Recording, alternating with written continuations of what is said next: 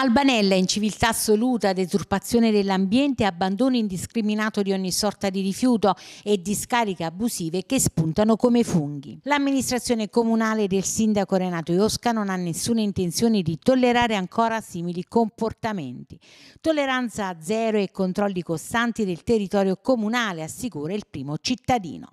In uno dei siti sono stati scoperti anche resti di macellazione, ossa, pezzi di carne e frattaglie di ogni genere. Purtroppo Purtroppo per lui l'inquinatore non è stato così furbo da non rimanere tracce. Grazie alle fatture rinvenute sarà denunciata alla procura e risponderà penalmente del suo comportamento. I resti di macellazione degli animali sono stati abbandonati lungo la strada provinciale 11 in località Iscalonga.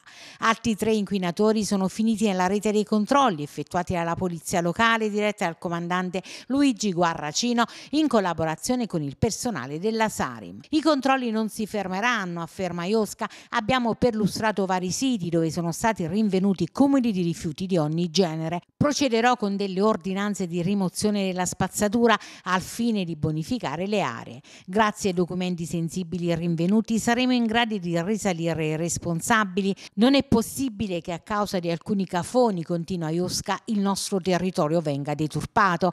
Il comune di Albanella ha una percentuale altissima di differenziata, oltre l'80% e non può essere penalizzato per l'inciviltà di qualcuno. Quattro gli inquinatori individuati, tre dei quali residenti nel comune di Albanella, sanzionati per l'abbandono abusivo dei rifiuti. Il macellaio invece sarà denunciato penalmente. Le aree saranno sottoposte a sequestro. I controlli sono stati effettuati lungo la SP11 nella parte interna di Scalonga dove è stata rinvenuta un'altra maxi discarica. Saranno installate, conclude il sindaco Iosca, almeno una trentina di fototrappole nei posti più impensabili. L'ambiente è di tutti e lo dobbiamo preservare.